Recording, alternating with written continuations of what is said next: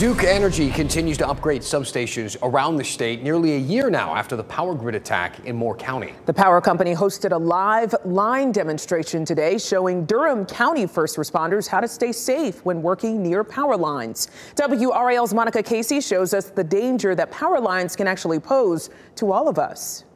What do a balloon, a kite line, and a metal ladder have in common? All of them can affect the power coming into your home.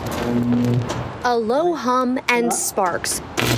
Both could be signs of something sitting on a power line.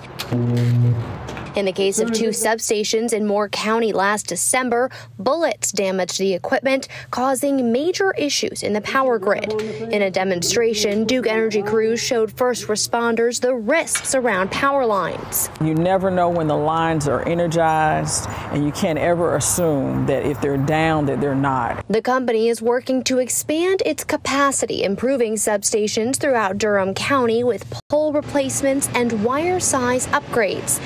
Indira Everett says the growth expected in the region is unprecedented. We've got projects ahead over the next several years. We're going to be doing a lot of work to make sure we're modernizing our grid, making sure it's ready for capacity to bring on all that growth and, and solar and other diverse mixes of energy. Duke Energy's load growth is projected to surge by 35,000 gigawatt hours in the next 15 years. That's more than the annual electric generation of Delaware, Maine, and and New Hampshire combined.